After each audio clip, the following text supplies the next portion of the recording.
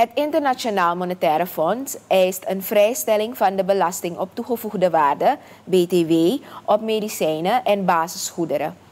BTW is net als alle andere belastingen en inflatie degressief. Dat wil zeggen, ze drukken zwaarder op de mensen die het moeilijk hebben.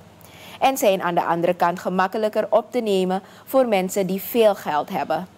Belastingwetenschapper Stanley Isaiah zegt aan onze redactie dat op basis hiervan aan personen die het moeilijk hebben het geld moet worden gegeven, zodat zij de prijzen kunnen betalen. Hetzelfde geldt bij belastingen op die prijzen. Het is hetzelfde. Dus, dus de benadering in de, in de politieke economie zeggen we, er is altijd meer vet en vlees onder de huid van een olifant dan van een ezel. Je moet gaan waar dat geld is, je moet het daar nemen, zodat je die persoon die het niet heeft beter kan helpen. Dat geldt ook voor medicijnen en basisgoederen. Rijke mensen hebben meer voordeel aan die vrijstellingen en, en, en nultarieven dan arme mensen. Zij consumeren veel meer voedsel, consumeren veel duurdere medicijnen. Waarom zou je niet 3% daarvan nemen en gebruiken voor het ministerie van Volksgezondheid?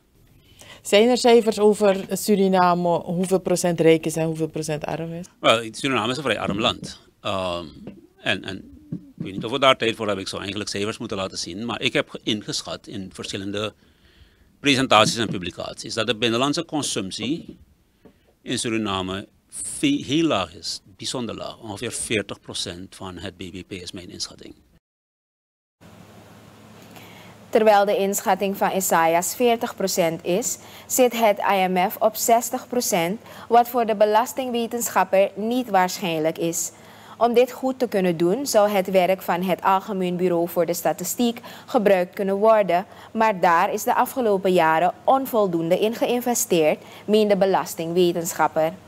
Het volledige gesprek met Stanley Isaiah ziet u vanavond om 10 uur via ATV in een extra aflevering van ons programma in gesprek met via 12.1.